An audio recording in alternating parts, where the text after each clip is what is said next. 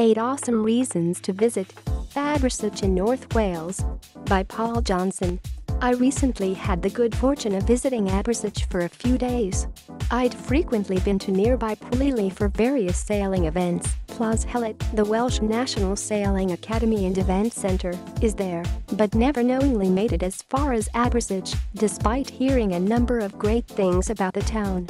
Known as Cheshire by the Sea, given its popularity with residents of the nearby English county of Cheshire, many of whom have second homes in the area, Abersoch is a town on the southern side of the Llyn Peninsula in the Welsh county of Gwynedd also affectionately known as the Welsh Riviera thanks to its unique microclimate, it is also a place where you can enjoy plenty of summer sun, sea, sand and a lively nightlife. Here are 8 reasons why you too should consider Abersoch on your next trip to Wales. 1. Abersoch Beaches. There are many beaches within easy reach of Abersoch. Porthmead was the longest expanse a three-mile-wide bay on the south coast of the Llyn Peninsula, but closer to Abersoch itself is the highly desirable Porth Mawr, a much closer walk from the town centre. This is also home to Wales' most expensive real estate, a beach hut here can set you back in excess of £150,000. From here you can enjoy views out to two islands, St. Tudwal's West, home of TV adventurer Bear Grylls, and Ynys Tudwal Fach.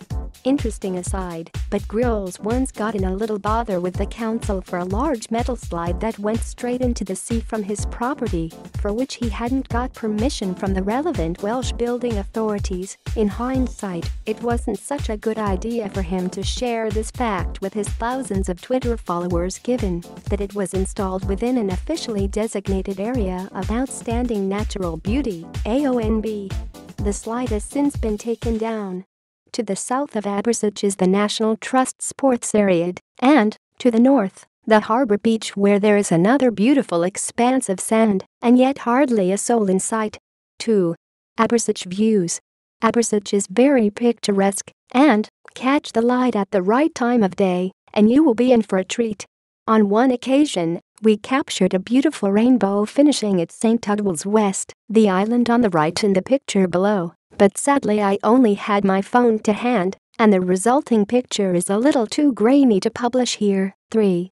Food.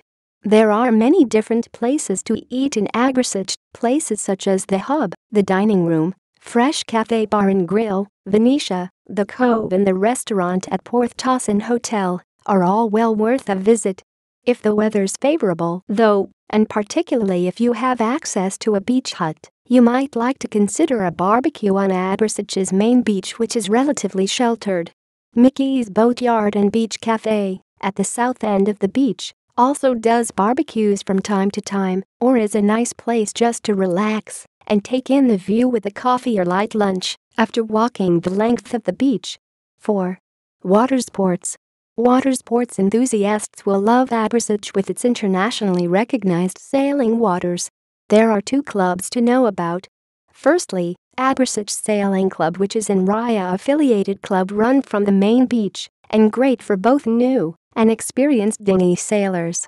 Secondly, perched high on the cliff at the northern end of the beach is South Caernarvonshire Yacht Club, which has hosted many prestigious events in the surrounding waters of Cardigan Bay.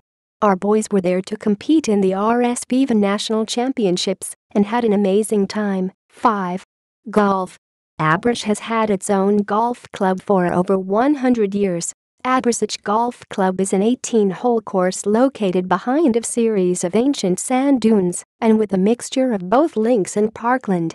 There are some testing holes, but, whatever your score, you will hopefully be rewarded with views across Cardigan Bay and out towards Snowdonia.